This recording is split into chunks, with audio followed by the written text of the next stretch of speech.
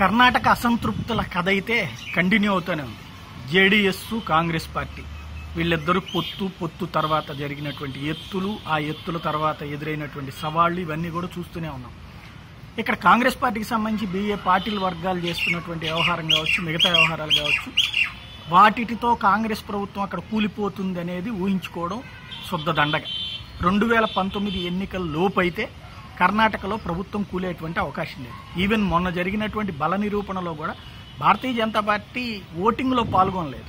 Boycott చేసి వెళ్ళిపోయింది. ముదువాణి ఓటుతో ప్రభుత్వం కంటిన్యూ అయింది. ఇక్కడ రెండు వేల పంతొమ్మిది లోపుగా ఆ ప్రభుత్వాన్ని కూల్చి తమ ప్రభుత్వాన్ని ఏర్పాటు చేయాలని భారతీయ జనతా పార్టీ అనుకోవట్లేదు. అదే జరిగితే ఇక్కడ తమకు ఎదురుగా జరిగినటువంటి ఎదురెత్తు ప్రచారం ఏదైతే కా బీజేపీ ఓడిపోయిందంటూ చేసినటువంటి మీడియా సాక్షిగా చేసినటువంటి ప్రచారాలు దాని తర్వాత మౌలు నైతికత లాంటి ప్రశ్నలు రేకెత్తించినటువంటి అంశాలు ఇవన్నీ కూడా తమని మళ్ళీ ఎదురు దెబ్బతీసేటువంటి పరిస్థితి ఉంటుంది. ఇంకోటి ప్రభుత్వాలను నిలకడగా ఉండనీరు తమ అధికార బలంతో చేశారు. ఇక్కడ జరిగేది వేళల్లో కొట్టుకు సచ్చినా సరే చివరికి అది పార్టీ పరంగా తమని దెబ్బతీస్తుంది అది ఎంకరేజ్ చేసినటువంటి వాళ్ళగా ముద్రపడిపోతుంది అనేటువంటి భయం ఉంది.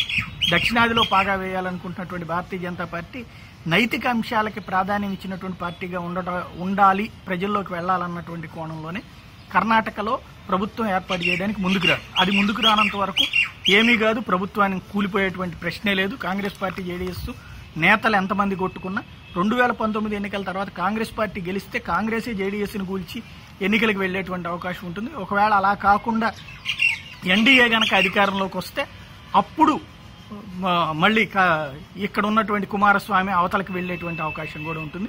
ఎందుకంటే జా- కేంద్ర స్థాయిలో గనక జేడీఎస్ మద్దతు అవసరమైతే అప్పుడు ఆ తరహా రాజకీయం జరిగేటువంటి పరిస్థితి ఉండొచ్చు.